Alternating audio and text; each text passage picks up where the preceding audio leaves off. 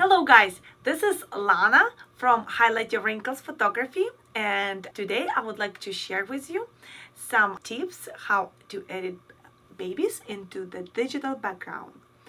I've chosen three different baby positions that are most common when baby lying her back, laying on her belly and on, hands under her chin. Also, I've chosen three different back, uh, backdrops for line her belly for uh, hands under the chin and also line on her back. All right let's start with the baby that line on her back. For this for this baby I would like to use this, this background that has four in it. And since I have a four in it so we can use just random selection. All right and now I'm gonna use Select and Mask and I'll make it bigger and just randomly make those harsh edges perfectly that could be perfectly fit in our background. All right now move the baby over here. Of course baby is too big since I already have my uh, tools that I can uh, transform controls. You can have uh, it's on if you have a move tool or you can go to edit free transform or control uh, T. All right? Hold, by holding shift key drag the baby so it's fit this little circle that is ready for her to be there. All right? I think this is perfect. We can just turn the baby maybe a little little more maybe a tiny more. All right. Hit all right. Hit ok. And now I'm gonna use a mask with a black brush. I would like to remove all unwanted background that left after the previous background. Okay this is before this is after. We haven't changed much. Okay let's change opacity to 20 or 30 let's do 20 and now get closer to the baby. And remove a little extra background. So I like to use shade from previous background this is which is over here.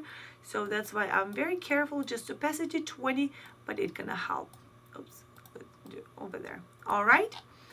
Since baby is white and the background it's a little creamy so uh, let's go back to our color balance and move so to change baby to a little yellowish uh, to blend with the background. If you want I don't want it. I like the attention when babies it's visible invert and then just use it on a baby with a full opacity of so now it's perfectly uh, fit in the background.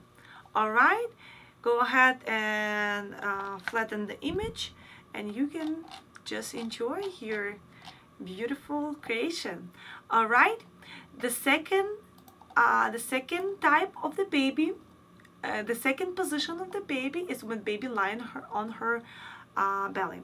All right? In this case we're gonna select the baby carefully. Make sure you pick up all the hair and you pick up all the fingers toes. Over here everything. So make sure ears are there. Sometimes uh, automatic um, selection can miss that. So make sure mama for sure wanted her uh, her ears and her hand baby's hand. So make sure you have all of it.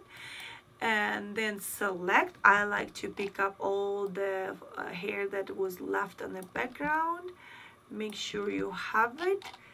And let's do I don't like to use this on a back I like it smooth like it is. I like to use it on a fabric maybe tiny bit over there just to pick up this shade. And over here I like this for little little four fourish. All right. And now I would like to use this not that I like to use uh, this bed so drop baby over here hold shift key and transport the baby by holding the edge. All right. I like it a little smaller. I like this little bump so we can just perfectly fit baby over there. All right hit ok as usual put the mask tool and remove all unwanted background that left from previous background. All right. All right I love how it is. I love this little flourish thing. Maybe we'll remove this purplish. I love the shade. Okay now since it's a little back so I would like to use smudge smudge tool. I'm going back to the baby and I smudge so it's a little blurry blur. I don't like it too in focus. Oops. Since this not in focus. So of course we want we don't want that too much in focus. All right. I love it. It fit perfectly you can just uh, uh, flatten the image and voila. All right and our okay that was our and now let's select the baby that uh, on her, uh, staying on her laying on her hands. Select. We're gonna work we're gonna work on that beautiful hair I want it all. I want it all so I'm gonna pick up by using the mask Select and Mask tool. All right I don't like this bluish background so make sure you don't have it. Okay. And maybe over there. Make sure you have the ears, both ears and hands and fingers. All right, now let's move the baby to our background, which is this cup. All right. Holding shift key, transfer baby into this little small, little small, tiny, beautiful girl. What I like to use here, it's two things. First of all, the baby was transformed uh, transferred from a colder background such as this and this is the lighter background much more warmer so we will use couple uh, couple different methods. Okay first of all before I apply um, mask I would like to pick up this elbow since it's kind of too big as on me. Hold control shift X or liquify tool. Wow all right and I would like to pick up this elbow a little bit pull it a little bit closer to the baby all right? Cool. Now uh, let's use mask black brush. We don't want of course we don't need this. Let's use a little bit harder brush. All right. We don't need that.